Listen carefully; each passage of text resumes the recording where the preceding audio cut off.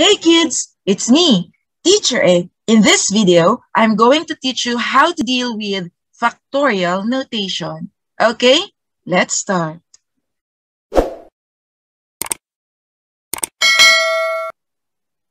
Okay, what do we mean by factorial?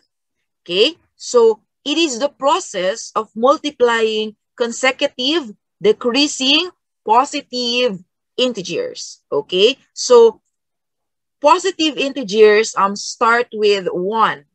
Okay, those are our counting numbers. 1, 2, 3, 4, 5, 6, and so on.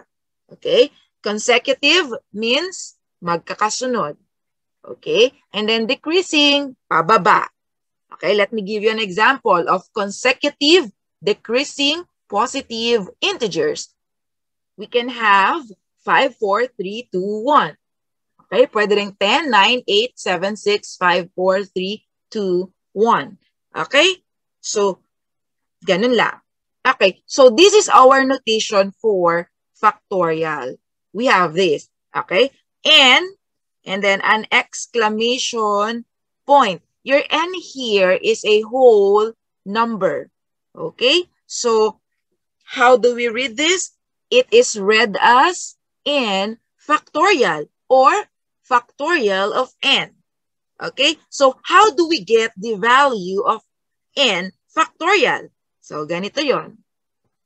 Like this. Di ba? Sabi natin, factorial is the process of multiplying, ayan o, oh, okay? Multiplying of consecutive, so magkakasunod na decreasing positive integer. So hanggang maubos siya down to 1.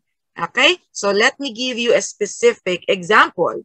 Okay? So if you have 5 factorial, so your n is equal to 5. So isa-substitute nyo lang yung 5 dito. 5 times, oh, what is 5 minus 1? 4. So you have 5 times 4, and then 5 minus 2, 3. Nakita nyo? So you have 5, 4, 3, and then 2, 1. So ganun lang, you just get the product like this. Ganun lang siya. Ganyan lang ang factorial. And of course, you need to get the product. Okay, you do the arithmetic and you will get what? What is 5 times 4? 20. 20 times 3? 60. 60 times 2, you get 120. And you'll have that. Okay? I know most of you will use um, calculators to get the value of 5 factorial. But you know what? I suggest try not to use calculators, okay? Para ma-practice din ang arithmetic skills ninyo. Because you're going to use it um, when you take entrance tests, college entrance tests in the future. Because most college entrance tests do not allow um, the use of calculators, okay? Lastly, we have an important note here. Do not forget that 0 factorial is equal to 1. Okay, it's a definition. Do not forget that. Of course, 1 factorial is also equal to 1. Let's try some examples and try not to use a calculator here. Okay? By the time na ma-publish ang video na ito, okay, this channel has um, 1,000 subscribers already. Okay, so I think it's a great milestone for a YouTube creator like me. Okay, so Thank you, kids, for supporting this channel. Okay? So, let me tell something about myself. Okay? So, am I a math teacher? Of course. Okay? That's why I'm creating math tutorial videos. Okay? The next question is, am I a grade 10 teacher? No, I'm not. Okay? I am a college professor. Okay? I'm teaching in the Institute of Mathematics in this university. Okay? Why am I telling you this? Okay? Because walang access si Ma'am Thematician sa mga modules ninyo. Or kung magkakaroon ako ng access, late na.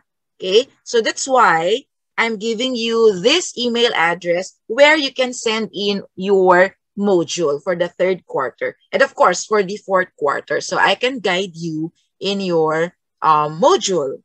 So far, may mga ilang copies na ako ng third quarter grade 10 module. Thank you to Allison and Kyle. So let's continue our discussion. Okay, first example.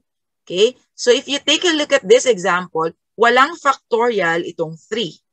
Okay, ito lang 4 ang may factorial. So you're going to have like this.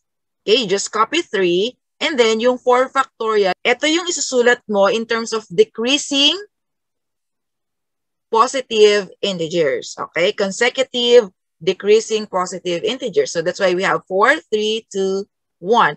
And then you do the math. Okay, so you're going to have 4 times 3, you get 12. 12 times 2, you get 24. Like that. And 3 times 24, it's 72. Right? Okay, next example.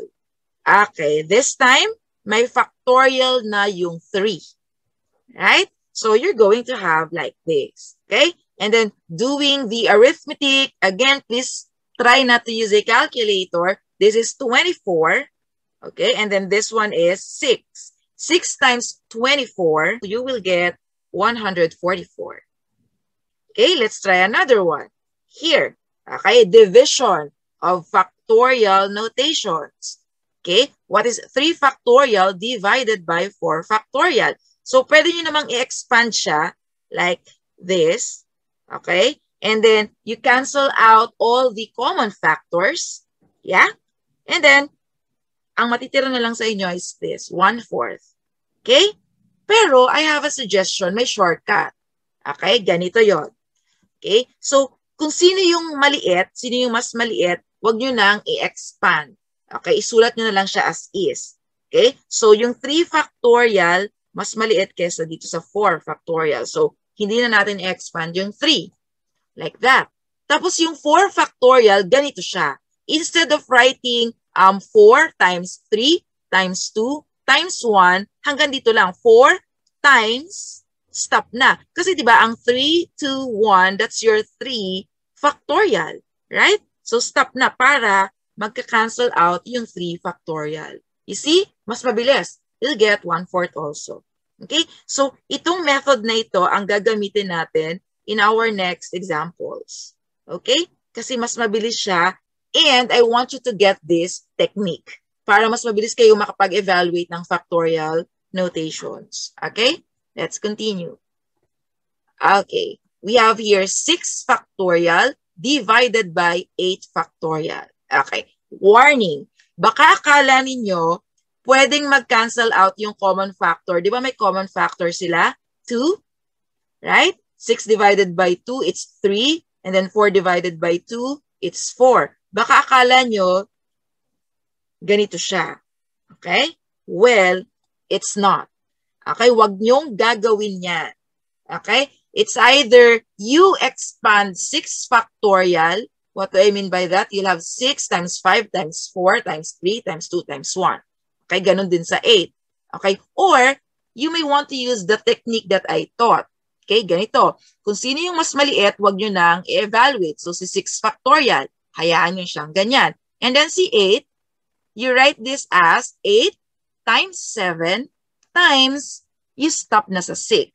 Okay? 6 factorial na lang ang gagamitin ninyo. Okay? Like this. Okay? Para magka-cancel yung 6 factorial. And then, madali na, di ba? You just have 1 over 7 times 8, it's 56. So, you'll have this. Di ba? So, mas mabilis. Okay, let's try more. O, ito rin, 11 factorial divided by 8 factorial. Okay? Si 8 factorial, hindi na natin siya i-expand. Si 11 factorial na lang. But, magsa-stop na tayo sa 8. Like 11, 10, 9, and then we stop kay 8.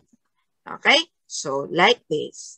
Okay? So, magka-cancel yung 8 factorial, and then you have 11 times 10, you have 110.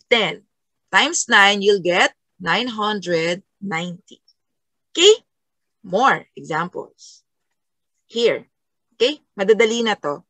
Let me give you a warning. Hindi dinidistribute ang factorial over subtraction. Hindi to equal sa 10 factorial minus 7 factorial. That's a big no. Okay? Actually, you don't distribute factorial over addition, subtraction, multiplication, division. Hindi siya dinidistribute. Okay? So, paano yan gagawin? I-minus nyo muna to. What is 10 minus 7? 3. So, you're going to have 3 factorial. And then you evaluate it. Okay? It's 3 times 2 times 1. You will get 6. Okay? Eto. What is 15 minus 14 factorial? Here. Okay? It is 1 factorial. And what is 1 factorial? 1. Next example. What is 100 minus 100 factorial?